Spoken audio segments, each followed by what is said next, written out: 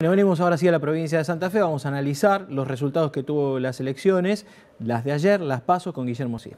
Bueno, y la provincia queda claramente configurada como un escenario a favor de la fórmula Fernández Fernández, pero con algunos departamentos donde todavía hubo algún grado de continuidad con Mauricio Macri. Pero claro, estamos hablando del tercer distrito electoral y aquí en Santa Fe ganó finalmente la oposición por 10 puntos, como decíamos, una continuación en algún punto de lo que venía pasando en la elección municipal, provincial y ayer entonces 10 puntos de ventaja en el total provincial y 20 en la ciudad, en el departamento Rosario en realidad. ¿eh? Hay localidades, Leo, del departamento Rosario, Pérez, por ejemplo, 67% sacó Alberto Fernández. Un distrito muy afectado por la desocupación, por los talleres ferroviarios que no funcionan, por la desocupación que está en alza. Bueno, esa es la explicación. En 2015 tengan presente este dato. Macri ganó en primera y segunda vuelta por más de 10 puntos de ventaja. Miren cómo se licuó el capital político de Macri en cuatro años nada más. ¿eh? Pasó de ganar 10 puntos a perder por otros 10 en Rosario 20 puntos la diferencia. Cambiemos se impuso, por ejemplo, en algunos departamentos, en 7 de los 19 y en 12 ganó Fernández Fernández. Mirán qué departamento ganó la fórmula Macri-Pichetto. Castellanos. ¿Te suena?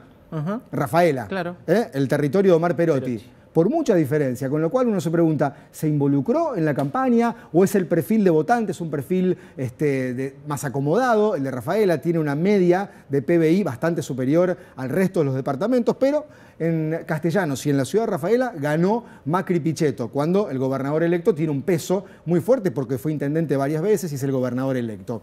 Como les decíamos, Departamento Rosario, la fórmula Fernández Fernández, 20 puntos de ventaja. En Pérez, la diferencia más grande, 67 puntos de intención de voto. Villa Gobernador Galvez, cuarto distrito electoral de Santa Fe, ¿eh? después de Rosario, Santa Fe, de Rafaela, 60% de los votos.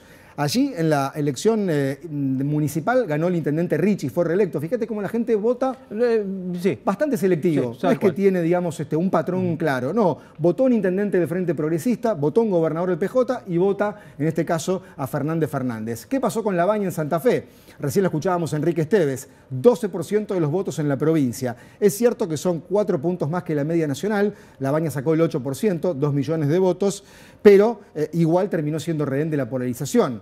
Eh, tener presente que entre las dos fórmulas más votadas se superó el 80% de los votos polarizado, pero no tan parejo. A La Baña le costó eh, meter una cuña, ha hecho alguna apreciación por redes sociales, le está pidiendo al gobierno una señal clara de gobernabilidad, Roberto Labaña. De esto sabe mucho el ex ministro de Economía, porque en tiempos de mucha agitación, cuando le tocó manejar la economía en 2003, hubo que llevar tranquilidad a los mercados. Eso le está pidiendo al gobierno de Macri, que en principio, Leo, cuatro y media de la tarde, ah, cuatro y media. cuatro y media va a dar una conferencia de prensa. Esto es minuto a minuto, es muy dinámico. Es muy minuto a minuto. No es que tengamos mala información, sino que no hay nada oficial. Se va, se va y también ya está previsto en breve una reunión entre Cristina y Alberto. Cristina arribó al aeroparque, hubo una ovación del personal aeronáutico muy enfrentado con el gobierno, así que esperamos esas dos señales, de la fórmula ganadora de la PASO y del gobierno saliente que tiene que dar alguna señal. Es muy temprano, recién lo hacías en tu análisis, te escuchaba atentamente, pero digo, es muy temprano para decir qué sector votó al, al oficialismo nacional y qué sector decidió cambiar es muy temprano. Trabajadores, por ejemplo. yo te diría que con el 47% de los votos es una mayoría. de, distintos rubros. Y claro, se nutre de sectores medios, medios altos y claramente de asalariados y sectores empobrecidos. Pero Macri no ha hecho una buena elección siquiera en la ciudad de Buenos Aires. Allí sacó el 45% de los votos, el distrito donde nació el PRO. Fíjate un dato, Leo. En la ciudad de Buenos Aires hubo pequeño corte de boleta y Martín Lustó, candidato a senador, sacó más votos que Macri para que te des una idea. Con lo cual Macri ha perdido caudal electoral en todas las clases sociales, pero claramente hay un componente de sectores empobrecidos, excluidos, medios y asalariados que han acompañado en masa a Fernández Fernández. Hasta las 14. ¿eh? Seguimos analizando lo que nos pasa a los argentinos. Guillermo Sisman, hasta luego. Hasta luego.